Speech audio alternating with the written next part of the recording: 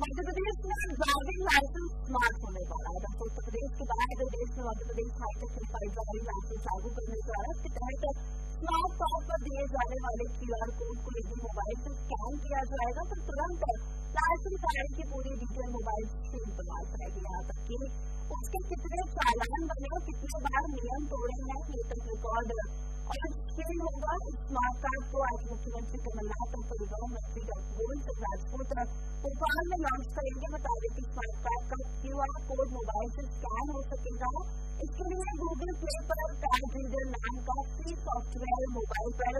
Upload करना होगा। उसके बाद उक्त सॉफ्टवेयर से स्मार्ट कार्ड का कोड स्कैन करेंगे तो लाइसेंस धारक की पूरी कुंडली सामने आ जाएगी। इसमें लाइसेंस कब बना कैसे है ब्लॉक ग्रुप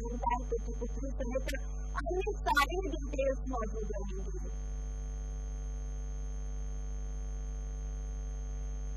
तो क्यू आर कोड से लाइसेंस वाले की पूरी डिटेल्स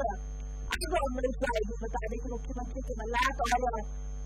परिवहन मंत्री गोविंद सिंह राजपूत आज यूनिफॉर्म ड्राइविंग लाइसेंस लागू करेंगे स्मार्ट कार्ड के क्यूआर कोड को मोबाइल फ़ोन से स्कैन करते ही लाइसेंस वाले की पूरी डिटेल्स और स्क्रीन दिखाई देगी रिकॉर्ड भी मिल जाएगा तो उसमें कितने बार नियम तोड़े हैं कितने चालान बने हैं और भी उसकी पर्सनल डिटेल्स इसमें आ जाएँगी बता देती मुख्यमंत्री कमलनाथ और मंत्री गोविंद सिंह राजपूत ने स्मार्ट कार्ड आज भोपाल में लॉन्च करेंगे तो भारत सरकार ने यूनिफाइड ड्राइविंग लाइसेंस लागू करना तय किया जिसके तहत मध्यप्रदेश देश का दूसरा राज्य होगा जिस संस्था को लागू करने जा रहा है इससे पहले उत्तर प्रदेश इसे लागू कर चुका है और मध्यप्रदेश दूसरा ऐसा राज्य होगा जो इस